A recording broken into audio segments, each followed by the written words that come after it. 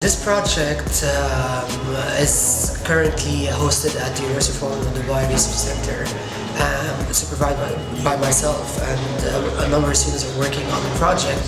It requires a set and a team of quadcopters to coordinate together in order to do some kind of surveillance and maybe save lives. This is the first of its kind in the country and probably in the Middle East that attempts to coordinate these copters autonomously uh, to actually uh, achieve the mission goals.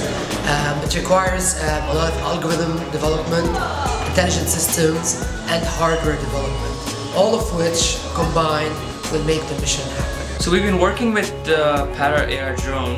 While while that one has all the sensors attached, these ones are kind of responding to them, and it's gonna be it's gonna be able to send out signals to them and kind of tell them um, that there's a, for example, if there is an emergency, it's gonna be able to tell them that oh there is a problem. All of these they can be used autonomously, so no human interaction at all, with the larger one. And the reason we started this is because if we could free up some more police force to do more useful things than patrolling, let's say, whilst these do the patrolling, then Dubai or any other place that adopts this technology can be a safer place in general.